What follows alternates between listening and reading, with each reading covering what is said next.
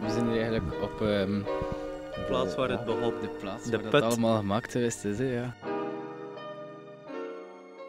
Hier in de buurt is er niet echt iets voor jongeren. En eh, onze vriendengroep heeft eigenlijk voor zichzelf een klein, ja, een klein jeugdhuisje gebouwd voor ons alleen, zodat wij kunnen doen wat we willen, zonder dat we in de regen zitten. Zo, je ziet wat voor een probleem dat dat gegeven heeft. Bouw nooit meer een put. Dat is hier de locatie van het MBZ, dus dat is hier het, eh ja, het Boudewijnkanaal. En we hopen eigenlijk achteraf dat dat eigenlijk terug grond wordt van de stad. Als dat van de stad is, is dat eigenlijk van de burgers.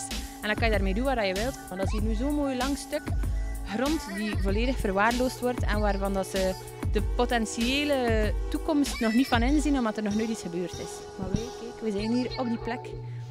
Er is potentieel.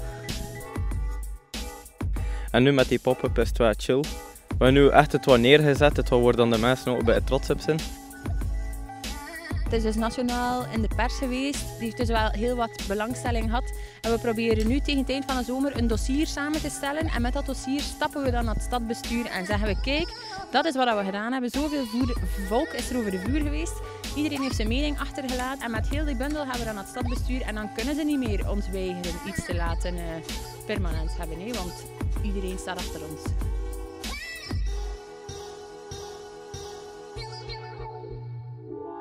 Ja, als we na dit al onze moeite niet eigenlijk gehoord worden en als de stad nog altijd niet eh, het heft in hun handen neemt om voor de jongeren iets te doen, dan denk ik wel dat er een uh, 2.0 komt, maar misschien wel eh, zonder dat er ooit iemand weet.